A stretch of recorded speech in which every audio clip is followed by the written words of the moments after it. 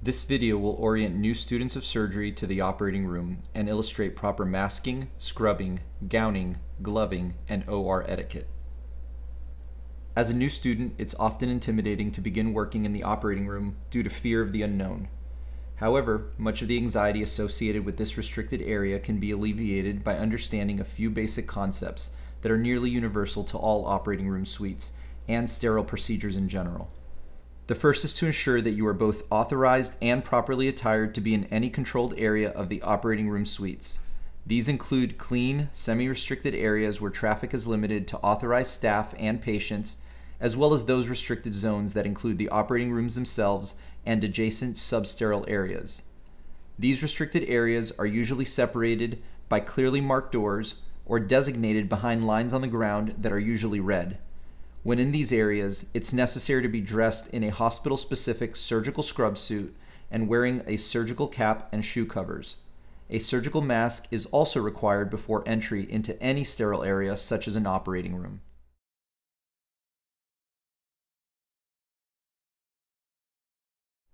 Various types of surgical caps, masks, and eye protection are available to be worn in the operating room, such as this bouffant, mask, and separate disposable eye shield or this skull cap with similar mask and separate eye shield. However, in this example, we will be demonstrating donning of a mask with a built-in face shield. With any mask that ties around the head, it is typically easiest to first secure the upper ties near the top of the head and then adjust the mask to fit snugly over the bridge of the nose and over the mouth and chin before securing the lower ties behind the neck pinching the mask on the nose to hold it in place while slightly pulling away the plastic face shield can help prevent fogging.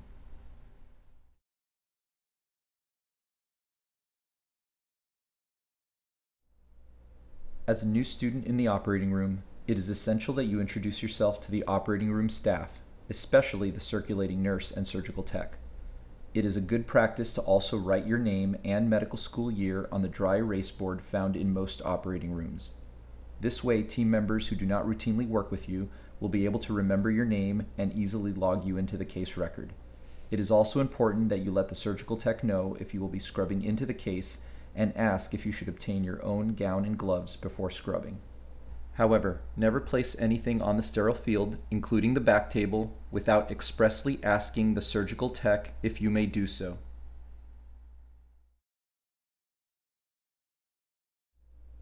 Before scrubbing into any surgical procedure, remember to remove all jewelry from your hands and wrists and store them securely. Please be aware that placing items such as rings into the pockets of your scrubs can put them at risk of inadvertently falling out and becoming lost. It may be safer to tie important items to your scrubs if you're going to keep them and not secure them in a locker or other safe location.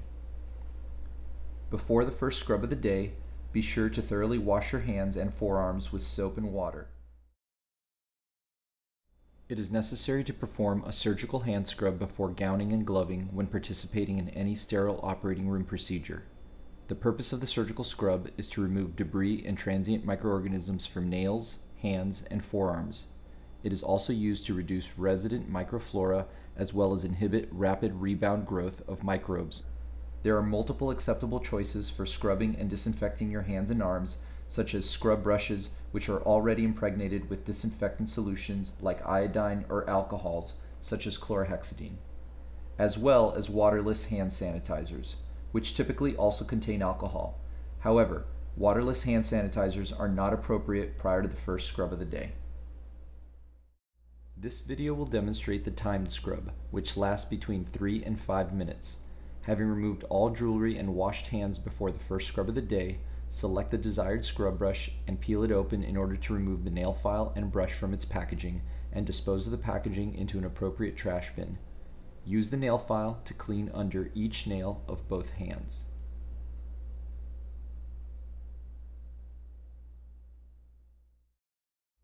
When finished, dispose of the nail file into an appropriate trash bin.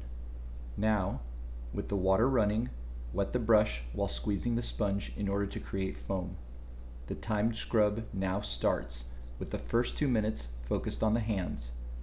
Beginning with one hand and following with the other, scrub each side of each finger.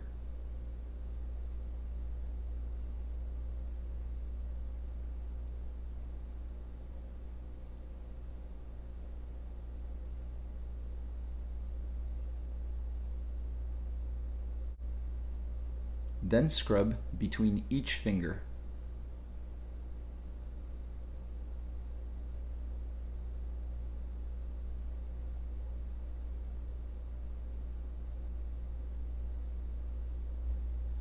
Finally, scrub the backs of the hands and the palms.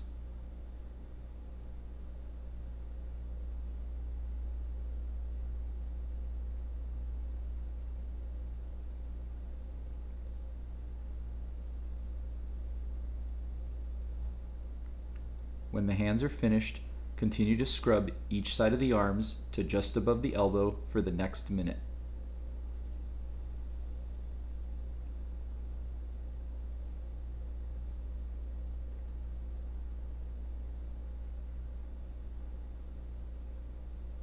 When the scrub is complete, dispose of the brush in the appropriate trash bin.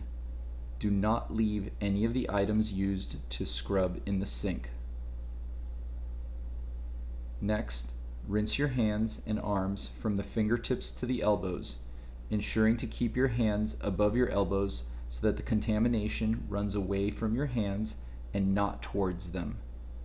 If your hands touch anything other than the brush after beginning the scrub, the scrub process must be extended by one minute for the contaminated area. Once the scrub is complete, turn off the water and walk into the operating room, ensuring that your hands and arms do not come into contact with anything else. Keep your hands and arms elevated and away from your chest, but do not raise them above your shoulders.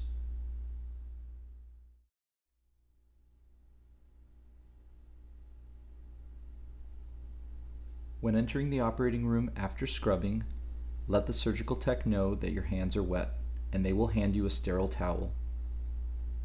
Dry each hand and arm separately, using one end of the towel for each.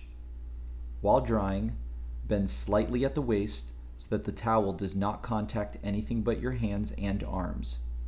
Be sure to dispose of the towel in an appropriate trash bin or wherever instructed by the operating room staff. As a new student, you will typically be assisted with gowning and gloving. When the surgical tech opens and presents your gown, place your arms within each sleeve and allow the tech to adjust the sleeves in order to properly expose your hands. Be sure to keep your hands and arms elevated while donning the gown. The nurse will then secure and tie your gown in the back.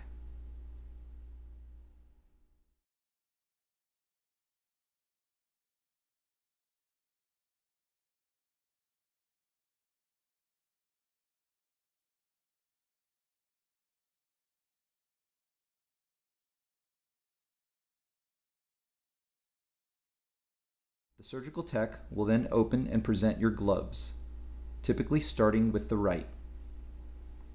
Place each appropriate hand into the gloves, being careful to avoid touching anything but the inside of the glove with your exposed hand.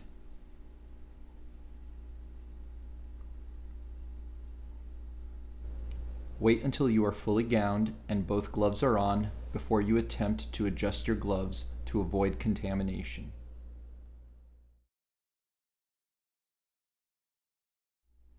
To complete your gowning and gloving process, firmly grasp the belt and tab with your right hand and separate the tab from the tie that is held with your left hand.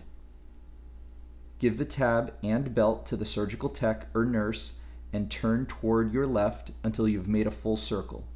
Then, firmly grasp the belt that is being held by the tab and pull it away until they separate. Tie the belt and then keep your hands and arms elevated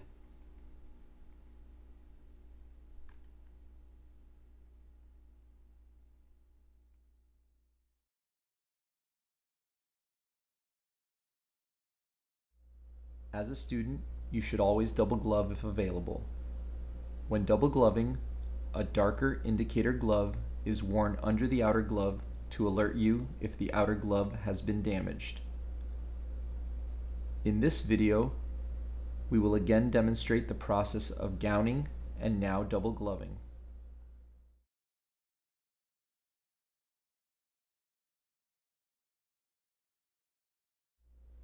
Once more, Notice the process of turning to the left in order to tie the surgical gown when gloving is complete. Pay particular attention to how the arms and hands are kept from contamination by keeping them elevated and close to the chest.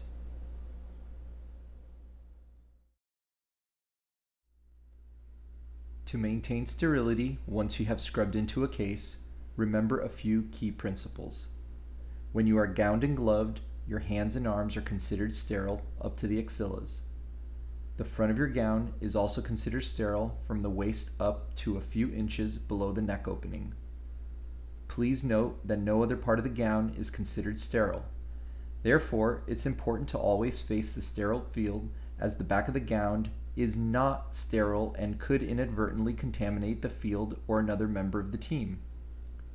As well, if the gown is touched by an unsterile object, it is then considered contaminated and must be removed, so you will have to repeat the process of scrubbing back into the case.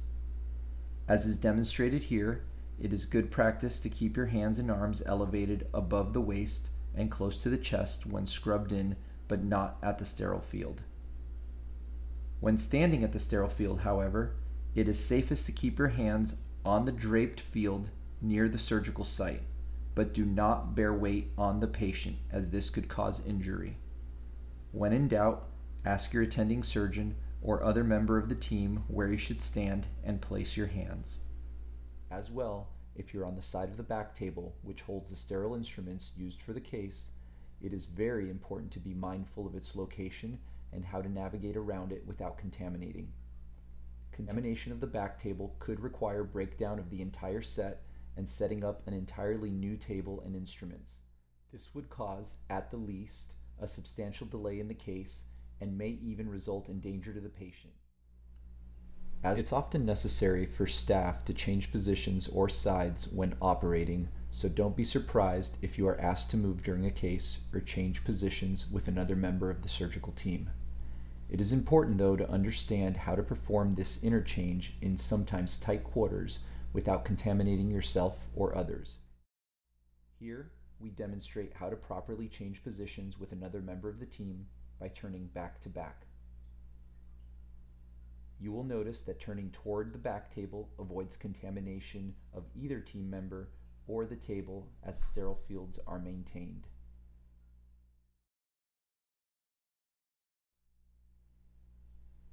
Medical students are almost always welcome in the operating rooms of the teaching hospitals in which you will be working, and your presence is a vital part of your overall medical education. However, please remember that at times the operating room may be a place of high stress with little margin for error, and the greatest emphasis is always placed on patient safety. Your role will often be that of an observer, although there are many appropriate opportunities for hands on learning and participation as well. As a new member of the surgical team, there will likely be customs and procedures that will not be familiar and that you may not understand at first. Using common sense and being courteous will acclimate you quickly to this new environment. Here we will review common OR etiquette. You will likely have many questions throughout your surgical clerkship, and you are encouraged to ask questions of your faculty, residents, and even the other operating room staff. However, Questions should be limited to times that do not interrupt the focus of the surgical team. Interrupting conversations in progress in the operating room or asking questions during emergencies or high stress moments must be avoided unless they are of vital importance for the safety of the patient or a team member. As well, asking trivial or unrelated questions or engaging in conversation irrelevant to the case, even with OR staff that are not actively operating, is usually inappropriate and may be considered disruptive or unprofessional. Maintaining your focus on active learning should be considered your goal while in the operating room. As a student, you may be eager to help in the operating room and your enthusiasm is encouraged. But as mentioned before, you may not be aware of the consequences of actions that may seem helpful but are unsolicited. One example common to medical students is adjusting the operating room lights without approval. This should never be done without asking the attending surgeon first, as it may unintentionally worsen their view of the operative field or cause distraction that could lead to harm for the patient. Another example is taking instruments from the back table without asking the surgical tech for permission. This is a common mistake made by new medical students who are eager to be involved in the case and cut sutures. However, removing suture scissors or other instruments without asking may cause confusion as to the location of the instrument or could even lead to an injury such as a needle stick or accident with another sharp instrument if the tech is focused elsewhere.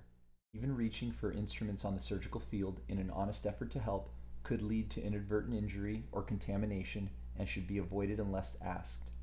Remember that the surgical instruments, Mayo stand, and back table are the domain and responsibility of the surgical tech. Overall, your experience in the operating room should be expected to be exciting and educational. Your enjoyment and learning will be greatly improved by maintaining a positive, courteous demeanor and focusing on your role as a medical student. This includes being prepared for every case you attend by knowing your patient's medical history and reason for undergoing operation, reading about relevant disease processes before the case, having a general understanding of the operation being performed, and being prepared to take an active role when asked. I hope this video has been helpful and I wish you the best of luck on your surgical clerkship.